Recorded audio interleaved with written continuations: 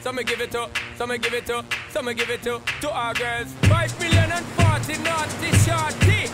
Baby girl, I'm a girl. Now this is where you really feel like you're on a boat. So what I'd really like to talk to you about is the $7 billion blood testing industry. Yeah, Don took me through it, but let me ask you again. Are you a leader? Because if you want this, you really have to dedicate yourself to it. You have to be aggressive, start firing people. Have you have you fired anybody yet?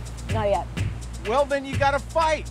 That's what it takes to be a CEO. That's what it takes to run a billion dollar company. Is that what you really want?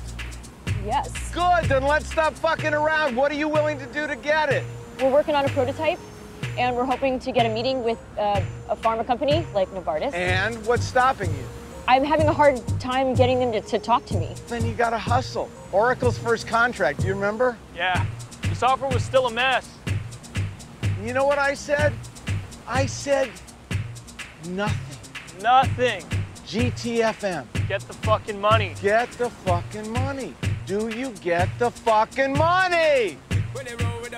I get the fucking money. Yeah. Then show me. Show me. I get the fucking money. I, I,